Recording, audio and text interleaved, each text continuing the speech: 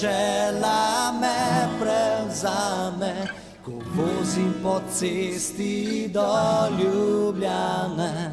Tu imam ljubezen, tukaj sem doma.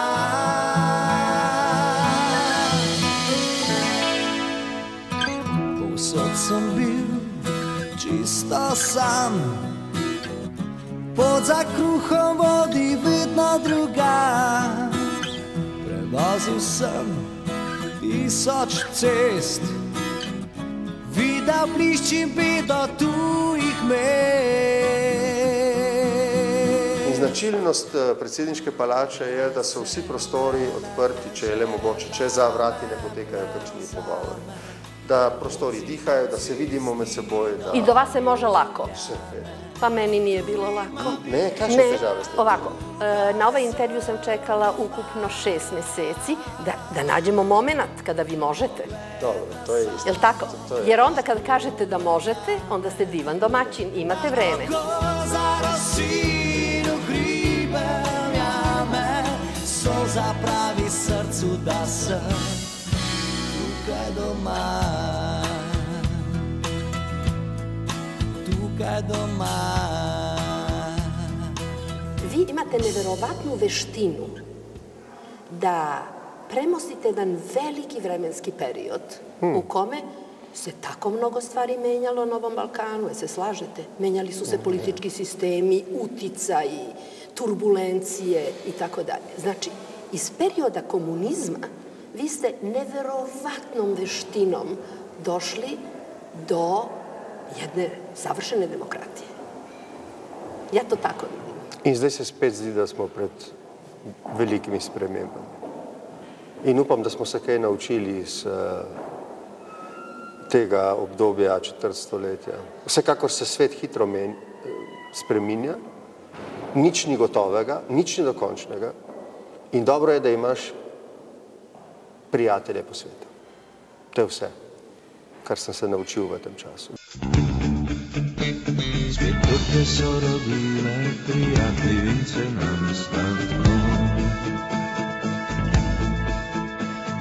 nam oživlja Da li su vam oni pomogli da e, prevaziđete, na primjer, iz jednog sistema mišljenja u drugi sistem mišljenja ili ste u sebi uvek imali određenu otvorenost? Jer čovjek mora da ima otvorenost da može da prima te promene. Če razmišljate tudi o ljudeh, ki drugače razmišljajo o vas, kot o prijateljih in ne kot o sovražnikih, vam je lažje sprejeti vse izzive, ki vas srečajo v življenju. Tako da se pravzaprav sprašujem, kako tisti, ki jemljajo v svet, svet okrog sebe kot sovražen svet, sploh lahko normalno živijo. Veliko lažje je, veliko boljše je, veliko koristneje je, če vidite svet okrog vas kot svet priložnosti, kot svet upanja in ne kot svet zarote in svet strahu.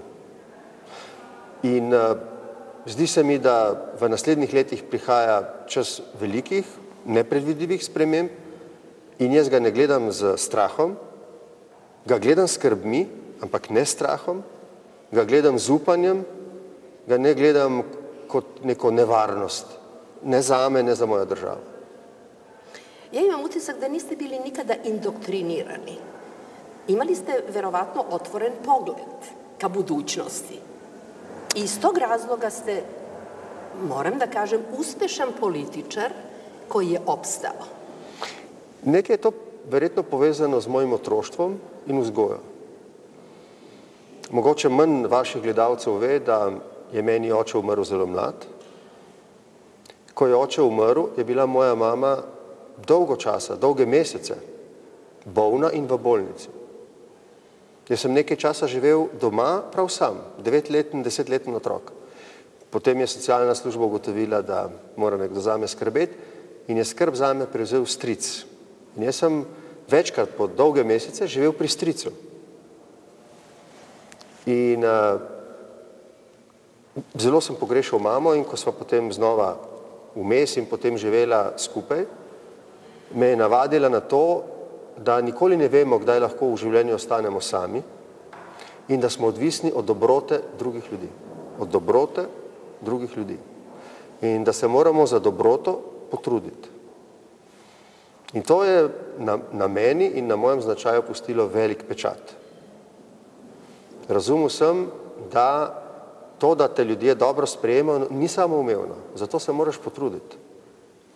In tako sem se potem obnašal tudi v življenju, ne da bi se vedno zavedal, da bi vedno naklepno tako ravnal, ampak je bilo to tako v meni močno uh, uh, privzgojeno, da se mi to še danes pozna. In tudi sina se mi zdi danes, danes je Luka star 19 let, nekako poskušam vzgajati, kolikor se pusti vzgajati v tem duhu.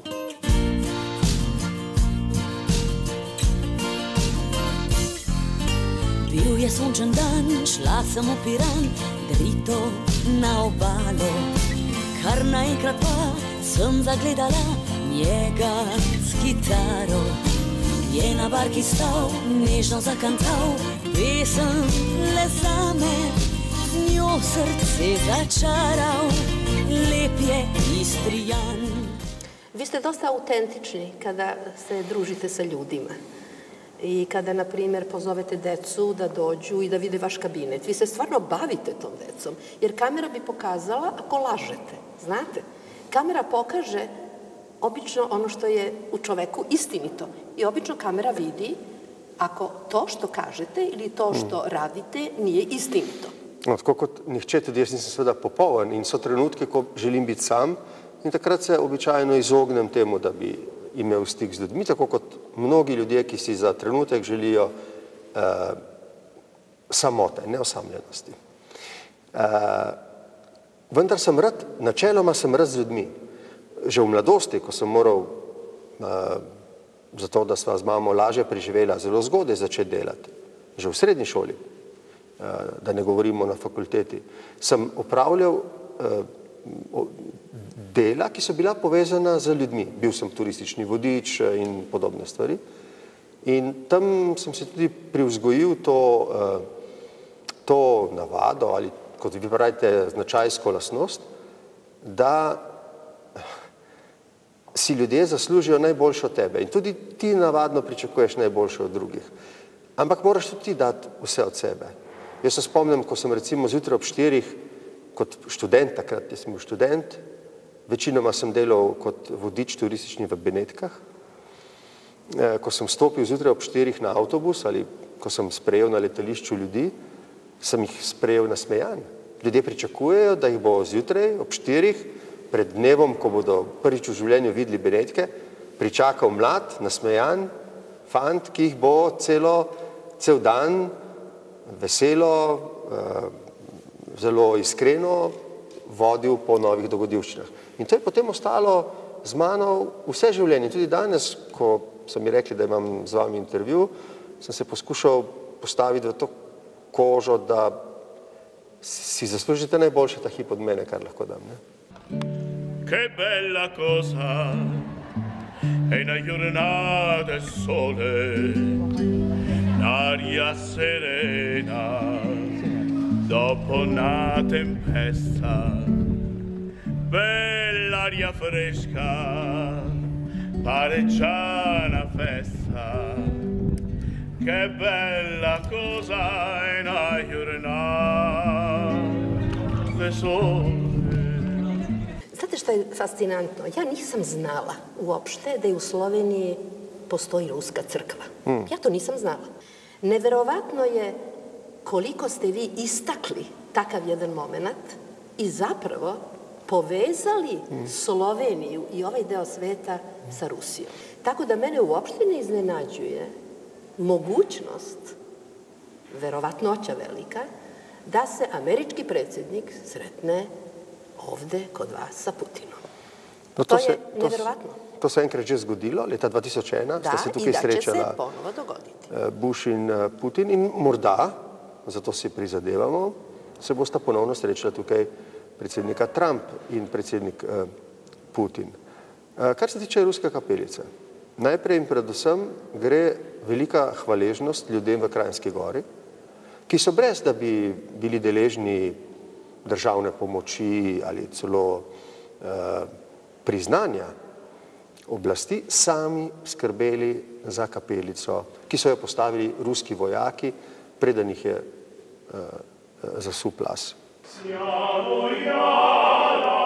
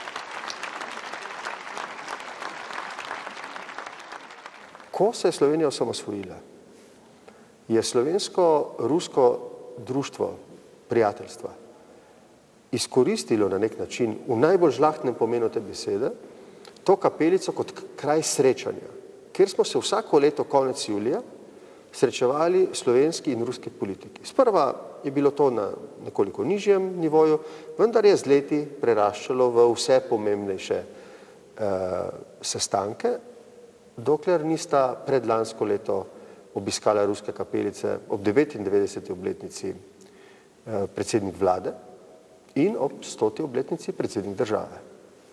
Kar ni bil tako enostaven diplomatski politični zalogaj zame, ker je Rusija pod sankcijami in bi lahko kdo rekel, da Slovenija izkorišča pietetne dogodke za to, da ohranja dobre odnose z Rusijo, čeprav je cel Zahod in Slovenija z njim nekako v zaostrenih razmerah z Rusijo. No, mi smo tudi zaradi velikega zaupanja med menoj in predsednikom Putinom, mi dva se srečala petkrat, smo ta njegov obisk uh, ruske kapelice naredili brezhibno.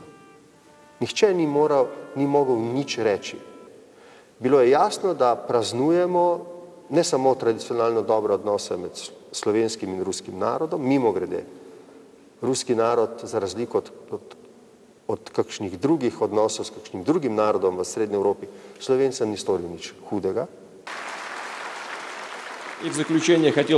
Od sveg srca, u ime cele Rusije i u svoje ime želim da zahvalim Sloveniji i Slovencima za to što činite radi očuvanja sećanja na žrtve koje ste zajedno s Rusijom prineli na oltar pobede u Prvom i Drugom svetskom ratu. Hvala i za napore za učvršćivanje temelja evropskog jedinstva na kojem bi trebalo da se gradi budućnost Evrope. Vaš susret sa Putinom i ta mogućnost da vi razgovarate sa njim, da razmenite mišljenja na ravnoj nozi hmm. je veliki diplomatski uspeh i na neki način kruna, ja mogu da kažem, kruna vaše karijere, a velika kruna je kad se budu sreli američki predsednik i Putin ovde kod vas. I to je no to... velika mogućnost. Čekajte, to je velika mogućnost. E, iskreno ću da budem sa vama. To je bila meni velika motivacija da dođem kod vas. Znate kako, da rezervišem mesto, da rezervišem vreme. No, da... gotovo si bom zapomnil, da ste bili med prvimi, ki ste se prijavili jesam, jesam. za poročanje o tem dogodku. Je, je vreme, znate kako, važno je na vreme to uraditi. Neki kažu pitanje da li će to da bude, a ja znam da će to da bude i bolje da ja dođem, da se sa vama dogovorim. Ne, to je sjajno, da ste prišli pravočasno, vam pa ne morem zagotoviti, da srečanje tukaj bo, ker to ni odvisno od Slovenije. Slovenija je uradno predlagala obema predsednikoma, da razmislite o možnosti, da se srečata tukaj. Mi razumemo, veste, da so se uh, razmere iz leta 2001, ko so se prvič srečali tukaj ameriški in ruski predsednik, do danes spremenile. Slovenija je postala članica Evropske unije, postala je članica Zveze NATO, leta 2001 ni bila ne eno, ne drugo. Danes pripada formalno zahodnemu svetu. Vprašanje, ali je v tem smislu še vedno na isti način atraktivna, ampak tudi jaz tega niti eh, predsedniku Putinu, niti podpredsedniku Pensu nisem rekel. Mi smo danes na drug način atraktivni smo atraktivni kot država, ki ima dejansko z vsemi pomembnimi in manj pomembnimi dejavniki v svetu dobre odnose. Mi smo veliki in dosti znamo, v bistvu nam je kar lepo, imeli bi še prvo damo, potem pa polno bi bilo, če na blizu, da se vrata in odprejo na stežaj, malo manjkaj, če je rata, bo to najvišji položaj.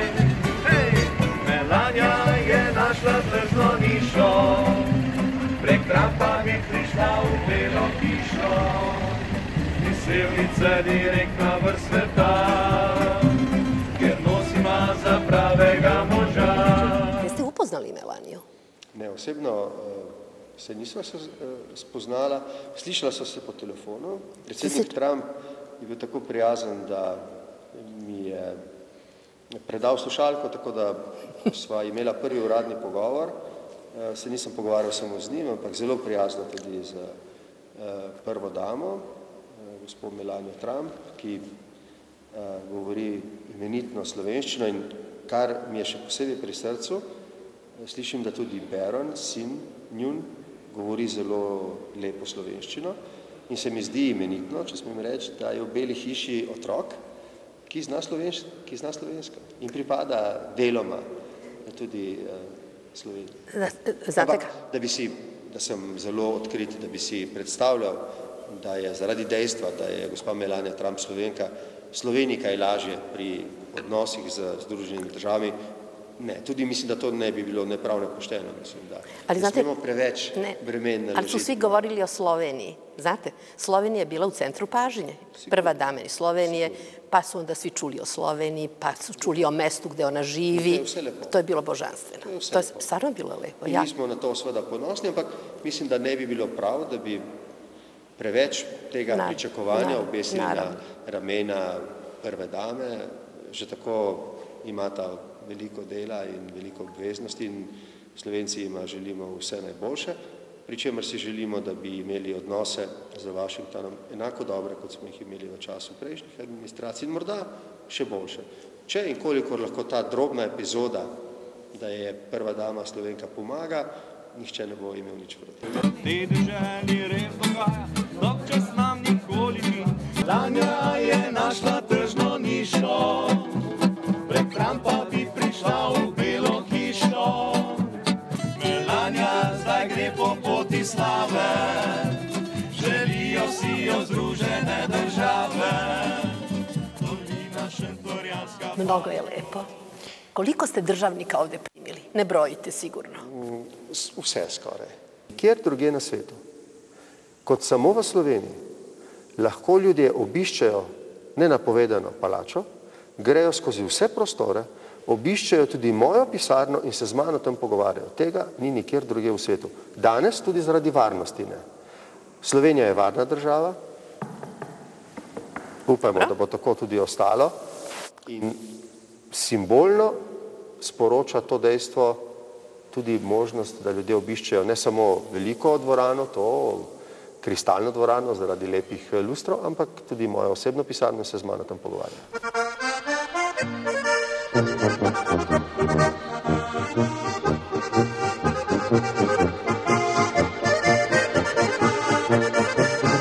Ko so pregovorili o Putinu, da. Putinu, on se je, ko je bil tukaj uh, lani poleti, seznanil tudi z mojim sinom. Da.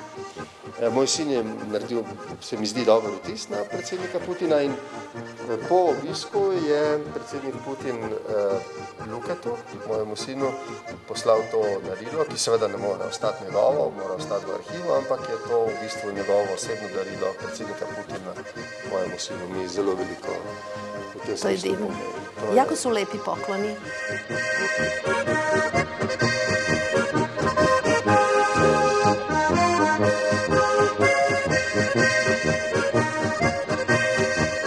Dobar dan.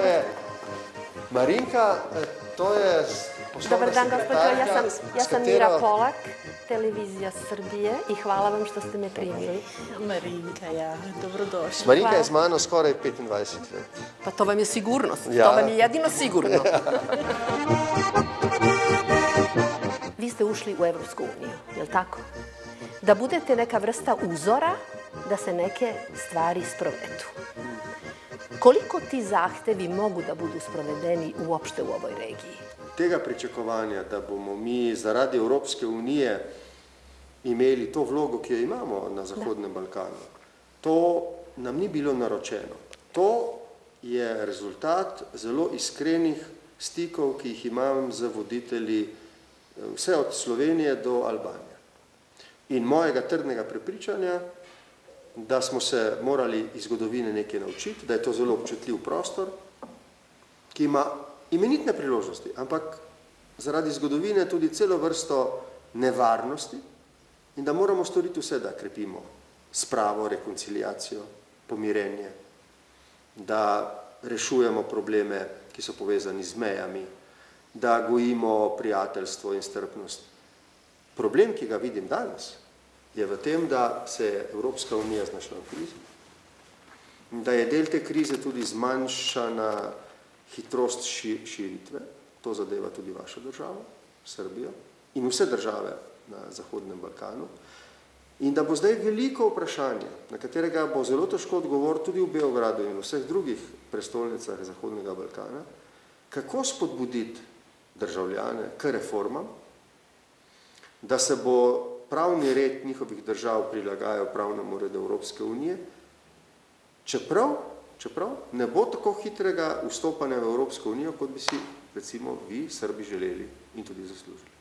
In naloga, tudi moja, je, da skupaj z vašimi voditelji najdemo načine, da v tem času kljub vsemu grejo stvari naprej in ne nazaj.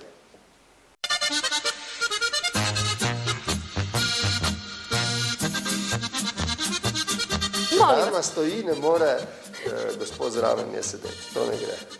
Lahko pa vi se usedete se. Prosim. da ispunim želju predsjednika Slovenije, gospodina Pahora, sela sam u stolicu koja je samo njegova.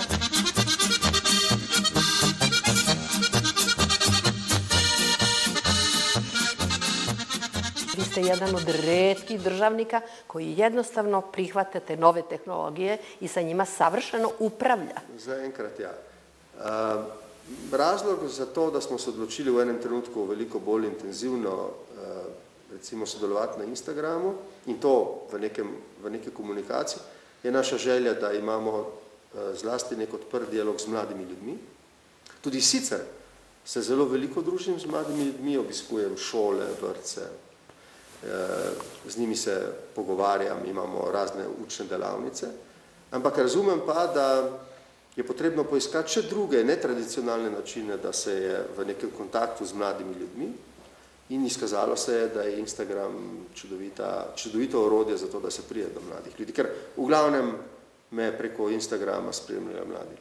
Svesni ste da vas ljudi vole. Znate to? Ne Osjetite? vsi, ne vsi, ampak v glavnem ja. Imam dobar občutek, ja. Pa znate koji je procenat? Jeste čuli? Dobar. Koliko? Ajde, recite šta su vam rekli. velik. Ne, recite mi, recite mi, recite mi, sigurno znate. Recite No, pro... se so različne raziskave, Ajde. ampak vse so ugodne. No. E, da vam ja kažem, povej. 52%, Pa to je sjajno. a 16 ne. Ne, dobro, to je redu. jel je to v u redu, To je zelo.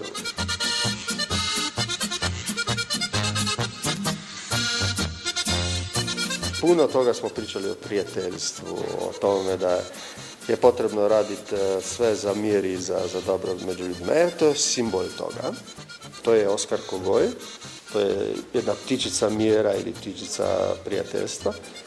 I u smislu toga što smo pričali, ja to vama dajem kao poklon za uspomenu za, ovaj, eh, za ovu posjetu. Hvala vam puno, Je to u redu? predsjedniče. Da, mnogo vam hvala. Stvarno vam hvala. Divan poklon.